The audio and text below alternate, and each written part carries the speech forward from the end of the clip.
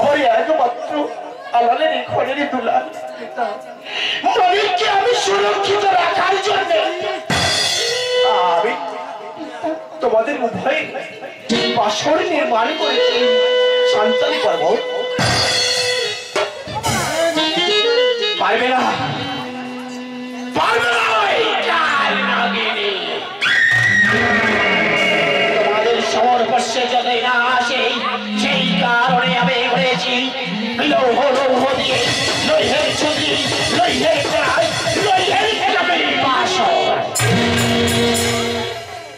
আমার একমাত্র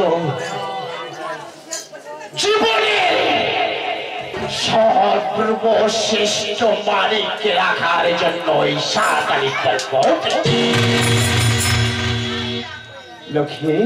না? তোমাকে নিয়ে যাব চতুর তোলাই করে। হ্যাঁ তোমাকে নিয়ে গিয়ে সমস্ত অলঙ্কার দিয়ে সাজিয়ে তোমাকে করব আমি? চম্পকের রাজা। মাতাকে করব? চম্পকের রাজা তাই আজ তোমাদের মুখে হাসি দেখে আমি যে যেতে চাই পত্র তোমরা সুখে নিদ্রায় যাবে। এই বাসর মাঝে আনন্দের উৎসাহে তোমরা বাসর ঘর সুসম্পন্ন করবে যাওয়ার পূর্বে আমি তোমাদের একটি কথা বলে দিতে চাই। বলো সারা বিশ্বে তোমরা কালী কাটিয়ে দেবে ঘরে। করে চলো কেউ না ঘুমিয়ে না পড়ো।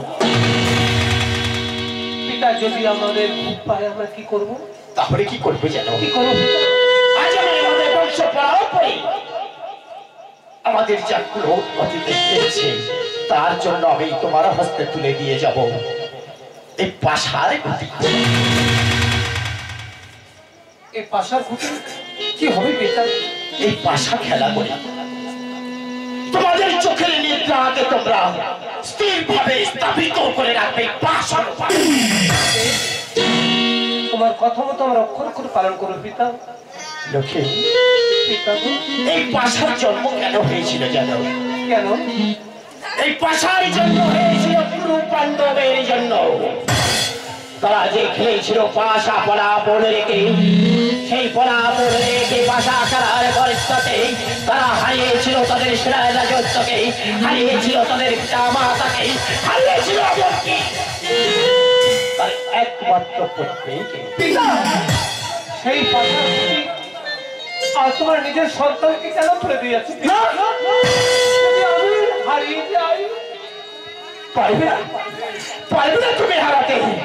তোমরা যে পনাপনে রেখে খেলবে না, এই বাসগুলো বাজে আমি তোমাকে শুধু যাতে তোমাদের নিশিটাকে যাপন করা হয়। যাওয়ার সময় আমাদের উভয়কে তুমি আশীর্বাদ করো, পিতা। আজ আমি যে আশীর্বাদের ভাষা হারিয়ে ফেলেছি বন্ধুমাতা তোমাকে একটি প্রশ্ন করতে হবে। পিতা? আচ্ছা বলো তোমরা স্ত্রীর সম্পদ হলো শ্রেষ্ঠ কি তুমি বলতে পারো? পিতা? নারী জীবনে তার শ্রেষ্ঠ সম্পদ হল তার স্বামী। এই তো আমার মায়ের মতো তুমি কথা বলেছ। আমি যে বড় আমি যে বড় কাদাল রে মা। আমি আমি তোর কাছে একটি, আমি করজোরে বিনতি করছি আমার আমার একমাত্র নয়নের মনে কি আমি তোমার হাতে আমি সমর্পণ করে গেলাম শুধু তুমি আমার ধরে রেখো।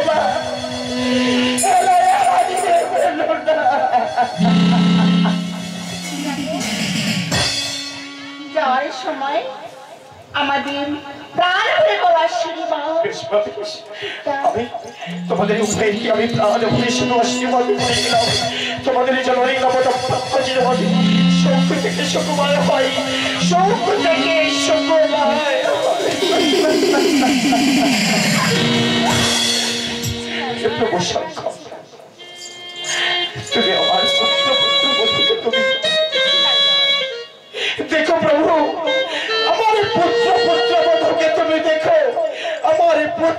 পুত্র পুত্র তুমি দেখো সমস্যা।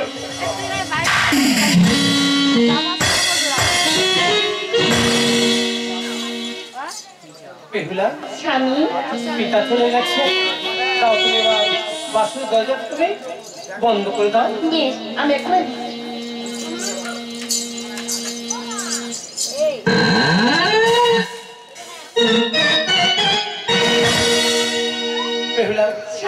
এই বাসর ঘরে কেমন লাগছে এই বাসর ঘরে কেমন লাগছে জানো? কেমন আমি আমি এসেছে গো। সে কি প্রিয়া? দেখো এই লৌহ বাসর ঘরে তুমি স্বর্গের মতো ভাবছ? হ্যাঁ। আচ্ছা প্রিয়া। বাসর মধ্যে বন্ধে আছে তুমি আর আমি। আমি তোমাকে একটি প্রশ্ন করব। প্রশ্ন। প্রশ্নের উত্তর দিতে পারবে? যদি আমার জানা থাকি আমি বলব স্বামী। বেশ। আচ্ছা বলো তো প্রিয়া। এই পাশার জন্ম থেকে স্বামী বলো। এই পাশায় জন্ম হয়েছিল সৌবলাদার হাড়ে থেকে। সত্যিকার বুদ্ধিমতী। আচ্ছা বলো তো এই পাশা কারা খেলেছিল? পুয়ার কাণ্ড বাহ। সত্যি তুমি বুদ্ধিমতী আমার কোনো উত্তর দিয়েছ? আচ্ছা বলো তো প্রিয়া। এই পাশার আরেকটি নাম কি বলো তো? আর এক নাম হলো কি জানো? কি বলো? অক্ষয় বুদ্ধিমতী। আচ্ছা বলো তো প্রিয়া তুমি যে শাঁখা সিঁদুর পরেছ আমরা যখন উভয় শয়নে যাব নিশি শেষ হয়ে গেলে তোমার প্রথম কর্মটা কি হবে বলো তো? স্বামী সারাদিন কর্ম করি যখন স্বামী স্ত্রী শয়নে যায় নারীর প্রথম কর্ম হলো? স্বামীর চরণে প্রণাম করা।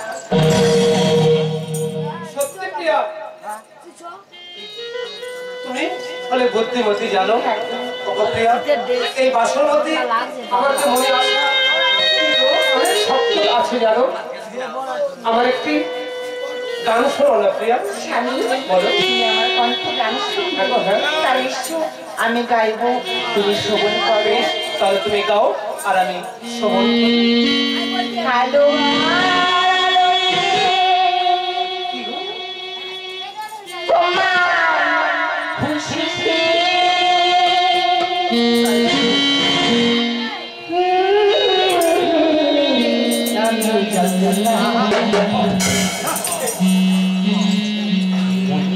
কি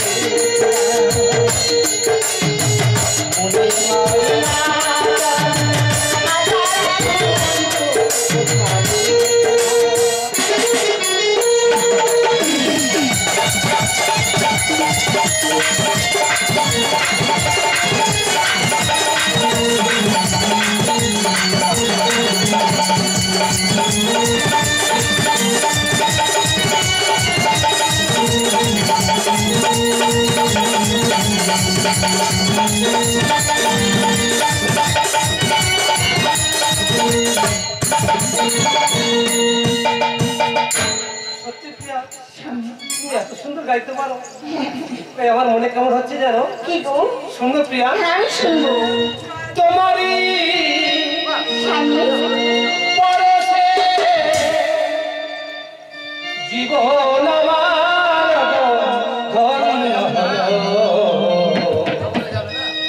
তুমি কি আমার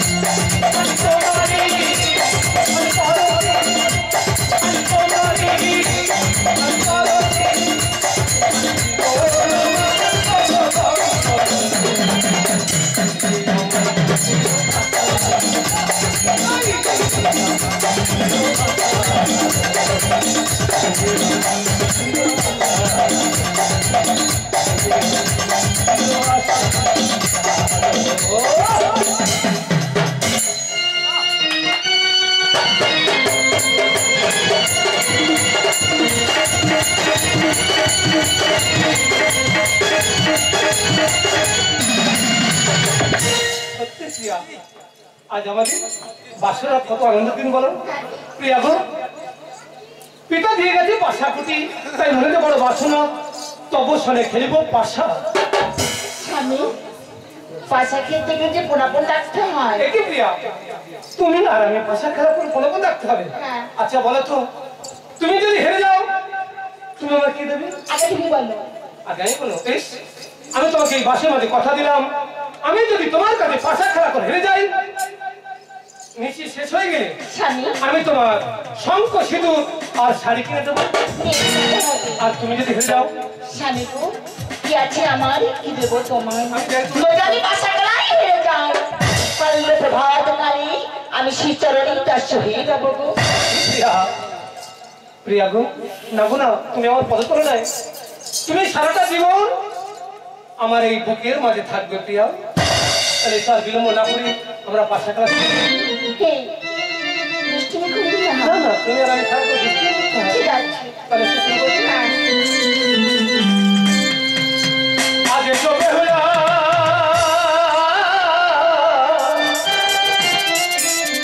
আমরাই খেলি আজি